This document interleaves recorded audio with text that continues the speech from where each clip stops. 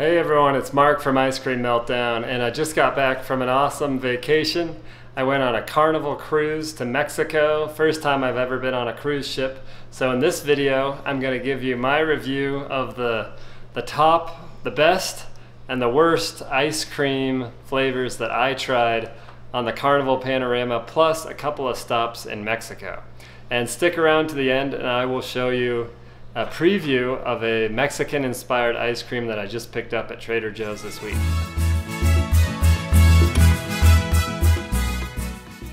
So first, I'm going to start with the worst one I had, which was in uh, near Puerto Vallarta, Mexico.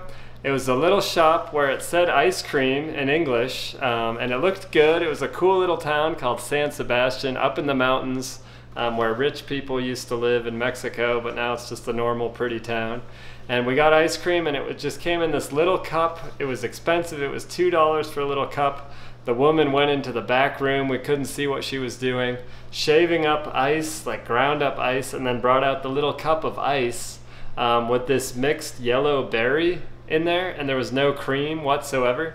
So i don't know how you can call that ice cream. Maybe the translation they got it wrong i'm not sure. But it wasn't very good and it cost two dollars so definitely not worth a stop there. Although it was a cool little place. A nice place to visit. Great town. That was the worst.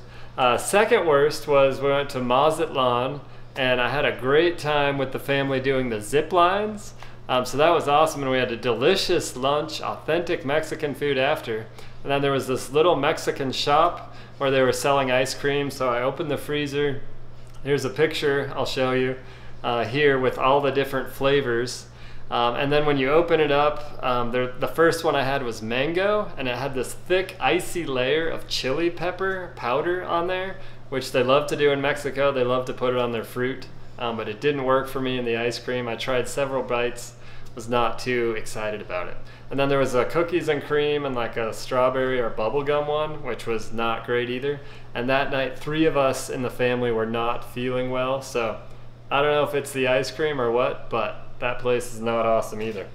All right, so let's move on to the Carnival Panorama cruise ship. This was a massive boat with like 5,000 people on it. Um, it was a great time. I loved it. There's a water park on top, all sorts of great food, a, guy's burger place, you know, awesome cruise. Um, and the, the four things that I'm going to review there, the one I would least recommend is the frozen yogurt. It was okay, but kind of icy and tasted artificial. Not too bad. I mean, I'd still eat it if there weren't any other options, but not my favorite of the ones they had there. And then next up on the ladder, number three, they had regular soft serve chocolate and vanilla, and that was pretty good. I'd say it's comparable to what you can find at McDonald's or another fast food restaurant. Um, and it was on tap all day long. You could have it any time of the day, um, which I had plenty of. So that was tasty. No complaints there. Um, and then there was some special hours between like 11 and 2.30 on the 10th floor of the ship. There was gelato, so there were a couple of ladies making gelato there, different flavors each day, and that was really tasty. My favorite one was the raspberry gelato, so if you ever make it on this ship, go for that gelato. It's included in the price of the cruise, so it's a great deal. You can have as much as you want, and I really like that raspberry gelato. It was a pretty subtle flavor, it was super creamy and milky. Loved it. Um, and then my favorite, which was I tried a whole new ice cream. Um, I guess I don't know what you call it, but it was a ice cream cake called a baked Alaska. And some of you have probably had that. I had never had a baked Alaska, and I actually ordered it off the menu, not knowing really what it was. And it's just like a thick thing of ice cream. There's a little bit of dough on the top and bottom and then it has a meringue coating on the outside and I think they use like a blowtorch or something or bake it to get it nice and toasty. So somehow you have like the cold middle and then the hot top that's baked there. And I really enjoyed the baked Alaska. It wasn't my fa uh, my family's favorite thing, but on the trip that I just had to Mexico, those were my favorites. Um, highly recommend going on a cruise like that if you can. It's taken me a long time. I'm in my 40s and that was the first one I've, I've gone on.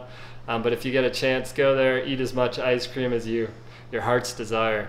Um, so this is Marc from Ice Cream Meltdown. Thanks a lot for watching. Oh, I do have one preview for you. Picked it up here.